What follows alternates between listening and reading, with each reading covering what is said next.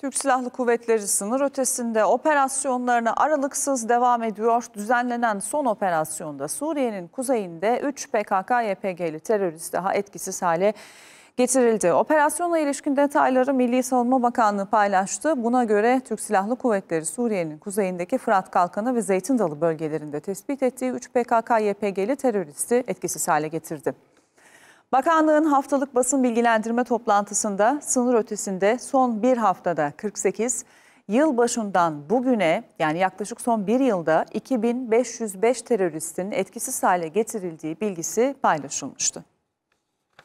Yerli ve milli üretim Bayraktar TB2 SİHA'larının son taliplisi Avrupa ülkesi Hırvatistan oldu. Hırvat hükümeti 84 milyon euroluk anlaşmayla 6 adet Bayraktar TB2 SİHA alacak.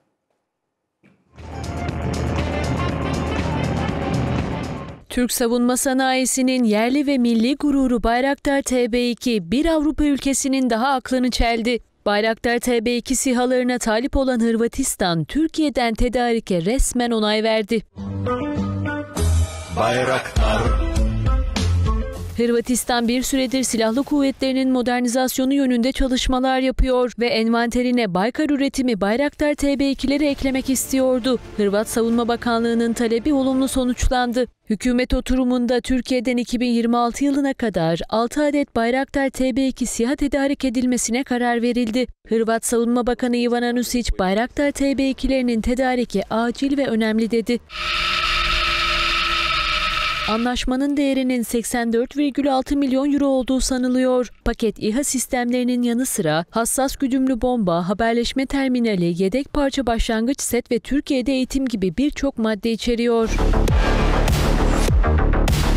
Şu ana kadar tedarik edilen Baykar üretimi Bayraktar TB2 SİHA'larının sayısı 600 adedi geçiyor. Afrika'dan Avrupa'ya kadar 40'a yakın ülke Bayraktar TB2 SİHA almak için sözleşme imzaladı. Bu ülkelerin başında Azerbaycan, Ukrayna ve Katar geliyor.